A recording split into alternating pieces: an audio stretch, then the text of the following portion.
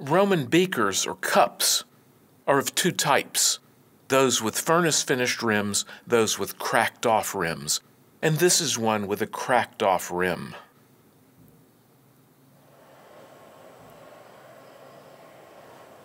The process begins with a medium size gather on a small blowpipe.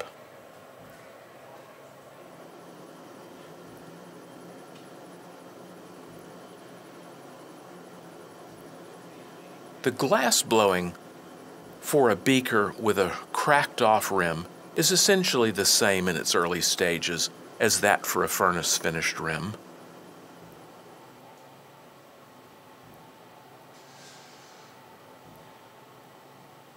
The initial bubble is blown with the blowpipe held slightly downward to ensure that the tip stays the thickest part and to thin the glass nearest the blowpipe. That said, if no punty is going to be attached, it's less important that the thickest part be the center of the bottom of the vessel. In any case, this marvering promotes that, promotes the thickening of the bottom.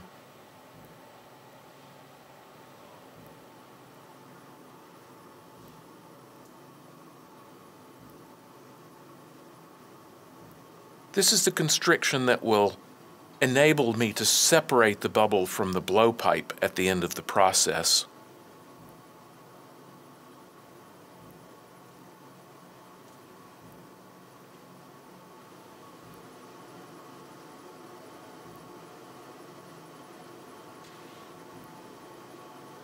And this vessel has another constriction.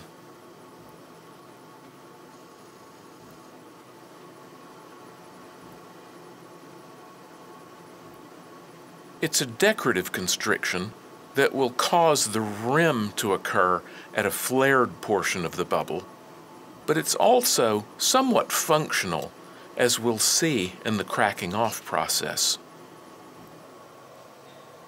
Glass blowing is completed. With a bang on the blowpipe, the vessel is separated from the blowpipe, no punty mark, of course, and the blank is placed in the annealing oven for slow cooling. The rim is created by cracking off. Here I've made a conical tool out of hot glass. It's on the end of the blowpipe. And it serves two purposes. One is it creates the scratch around the circumference, and two, it delivers the heat precisely to the location of the scratch. This technique for cracking off is almost infallible. The cracked off portion is, of course, recycled.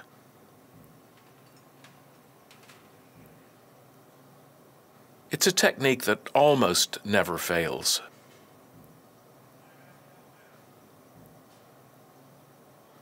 The vessel is kept moving during the cracking off process to make the scratches deeper and deeper.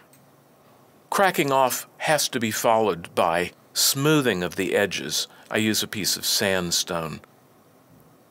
At the conclusion of the crack off, the edges are exceedingly sharp and dangerous.